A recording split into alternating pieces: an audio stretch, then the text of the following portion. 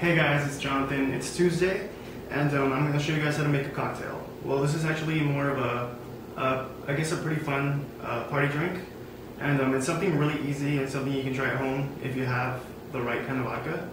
I'm going to be making a cherry bomb. Um, I've looked for recipes online for this, and uh, it kind of varies. They have different ingredients and stuff, but the main one is cherry vodka and Red Bull. So I'm going to make my own version. I've never actually had it, but I've been wanting to try it, so I thought I'd do it on video.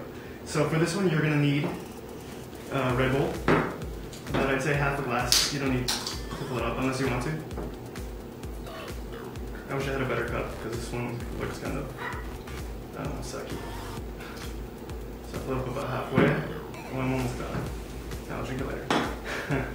um, okay, so um, there you go, uh, half a glass of Red Bull. Then you're also to need cherry vodka. You can use uh, UV cherry. I think it's, I don't know, more fun because uh, it's red, so it looks more like cherry. Or you can also use, if you have um, cherry, you know, regular vodka, Svedka. This one's a cherry flavored, but it's more fun to use red vodka. Okay, so you're gonna need a shot, about a shot of cherry vodka. I try not to fill it all the way because I actually want to try something different from what I've seen.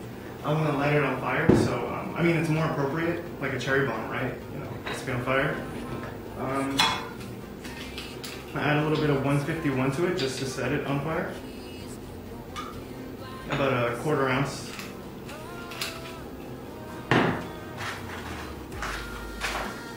I'm old school, so I'm using matches. Pretty cool. Probably can't see it, but it is on fire. I don't know if the camera gets that, but um, it is. So I'm gonna pour it onto the shot. Just a little bit. I think it's on fire. It is. Can't see it, but it's on fire. I'm gonna try to chug this. I probably won't finish it all in one gulp, but um, we'll see how this goes.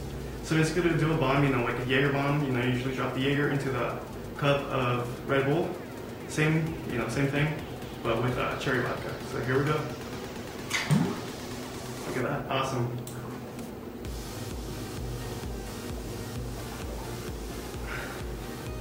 I'm not gonna be able to finish this all in one gulp. Yeah, sorry.